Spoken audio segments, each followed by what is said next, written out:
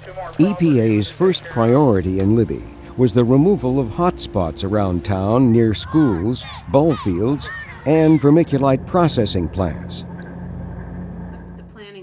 Then, after an exhaustive screening study, sampling, and inspections, U.S. EPA and their contractors are now identifying and removing contaminated vermiculite insulation from attics and other accessible interior and exterior spaces.